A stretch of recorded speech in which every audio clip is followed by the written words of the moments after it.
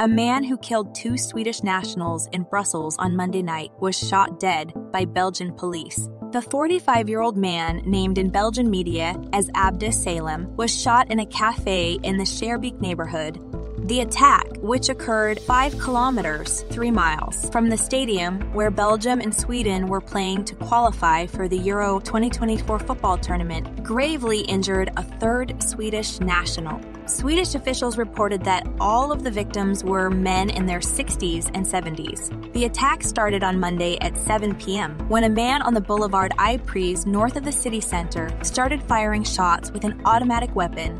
Four gunshots were heard. He recorded himself admitting to the killings shortly after the attack. The Arabic speaking shooter claims in the video that he is fighting for God and claims to have killed Swedish citizens.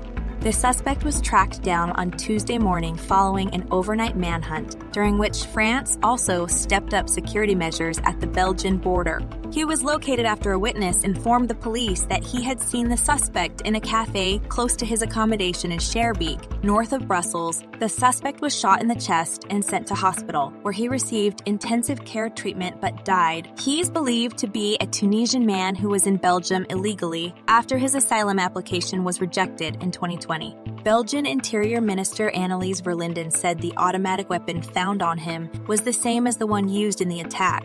Hey, superstars! You've been jamming with Jomo today, where we surf the waves of the latest buzz, from the coolest memes to the intriguing stories. If you're here for the digital roller coaster and a dash of pizzazz, give that subscribe button some love. It's your VIP pass to all our adventures. Until our next digital rendezvous, keep it groovy, stay inquisitive, and let those good vibes flow endlessly. Mic, drop.